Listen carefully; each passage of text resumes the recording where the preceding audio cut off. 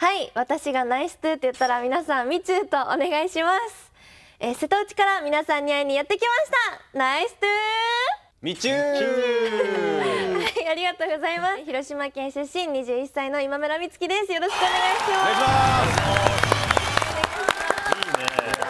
ますねはいありがとうございます。というわけで小井さんスタジオ初登場です。前回ね小井さんね、はい。えっ、とあれはリモート出演だったので、はい。ご本人来ると我々もテンション変わってきますね。やっぱあの画面通してっていうよりはね、会う方がねやっぱり嬉しいですね。小井さんの表情緩んでます いやいやいや緩んでないですよ。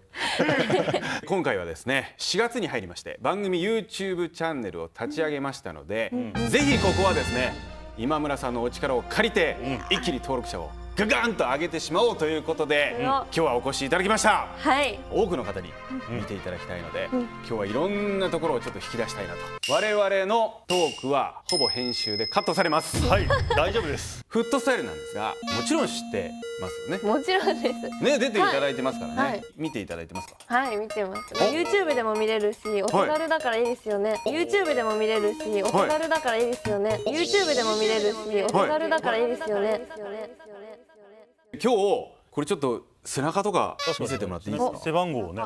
うん。入ってるかあら。エンジンって書いてますけれども、はい。これはということは？エンジンプロジェクトに参加して、そうです。家族でもうサンフレッチェ広島を応援しようと。いやーありがとうございます。いやいいす。ごい。ボードとかにこう刻まれてるわけですか？そうなんですよ。スタジアムに行ったら、はい。私の名前があるので、はい。もう何回行ってももう今シーズン23回行ったんですけど、毎回写真撮ってます。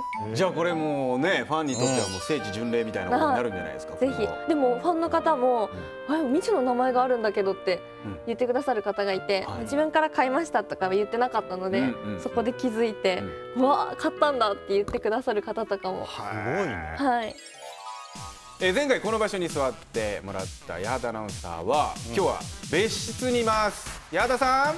はーい。体はちっちゃいけどやる気元気は千馬力。HHT48 の八幡美咲です。よろしくお願いします。HHT 広島ホームテレビああ正解です。俺も全然わ広かん島ない。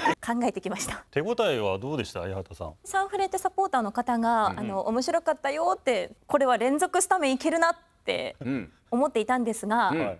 まあスタメン外でしたね。STU においてもですね、ポジションを取っていくために心がけていることって何かあるんですか？日々のお仕事を楽しみながらやったり、私たちは応援していただけると、うん。たくさんの景色を見られるようになるので、うん。その感謝を忘れず、うん。その楽しんでるところをお届けしていくというか、うん。キラキラしている姿を見せられるように頑張ってます。チームメイトでもありこうファミリーでもあるじゃないですか、ライバル的な側面もあるじゃないですか、うん。その辺はどういうふうに考えられてるのかなっていうのはちょっと気になってるんですよね。立ち位置とかも、変わっていったりするのでそうですよね。上に行きたいっていうメンバーもいるんですけど、うん。私はあのもともとパフォーマンス歌とダンスとかが小さい時から好きで、うん。あのそれをやりたくて入ってきたのでライバルという意識では見た方がいいとは思うんですけど、うん。そんなにバチバチはしてないですね。ファンの方の名前とかってこう全部覚えてたりするんですか？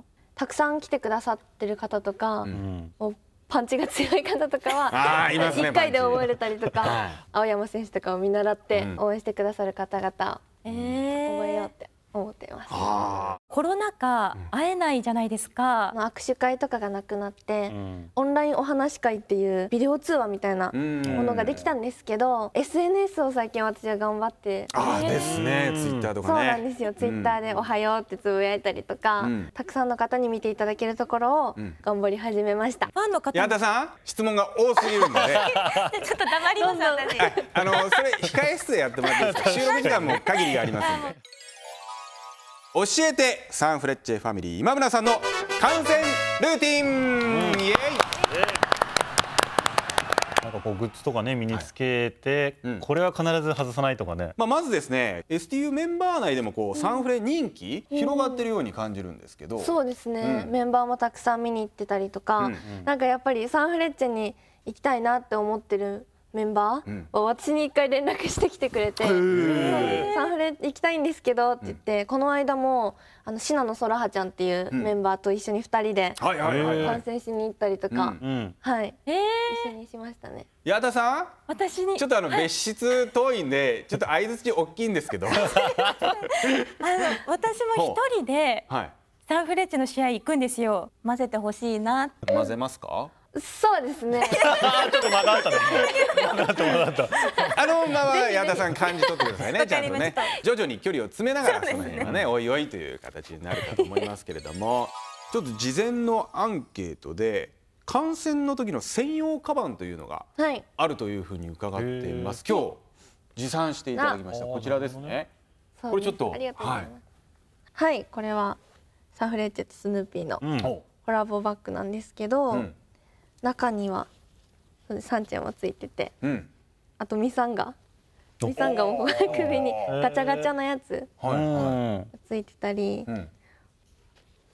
あとなんかその巻かれてるものもありますね。なんかあの車にはねられないやつ。あ光る分ですね。これをつけてたら跳ねられないわけではない。未然にまあ防止するというかね。ご自身の居場所をこうはっきり分かってもらう。はい。で中にはこのタオルマフラー、こうん。れサンチェ可愛い。うん。あー可愛いねサンチェ。はい。これを首から下げて、うん。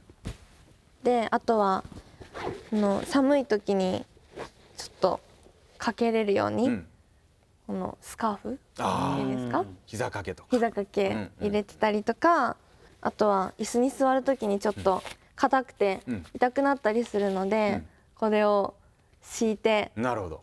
ちょっとクッションをつけて、うん。はい、座ってます。え これしかも見てください。今村。今村。なく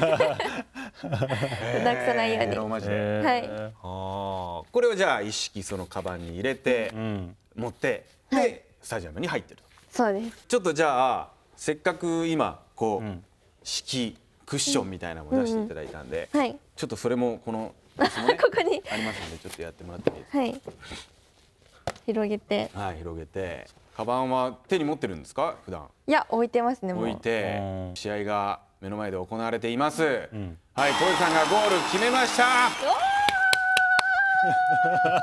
嬉しいな。嬉しいなこれ。小池さんがミスをしてそれが失点につながりました。うわ。うわ。うわそれは見たくなかった。やっぱりちょっと手組んじゃいます、そうですね。えーあそうなんだ。あいや僕はちょっとさっきからずっと考えていたことがあったんですけどあちょっと足りてないなっていうファッションがあるんですよ。何ですか？まあ選手の時僕背番号7番だったんですか？で引退して77番。僕のなんか多分グッズが一個もなかったあちょっと確かに。足りてないのかなって。推しの選手というか、はこういるのかなっていうのはちょっ柏選手です。あー柏選とじゃなかった。いやでも好きですよ。サンフレッチェさんをすごい支えてくださってますけど、手、うん。うん。あの選手は柏選手が今はおしめです小池さん若い人に気使わしちゃダメですって。千葉選手がドリブルで抜いて、ん。シュートを決めたっていうシチュエーションでちょっとじゃあ。柏選手ボールを持ちました。前に進んでいってあー切り込んで右に切り込んで右足のシュート柏よしうわすごい。工藤登録さんいたらまた叫んでましたね。よしふみってやってましたね。叫んでましたね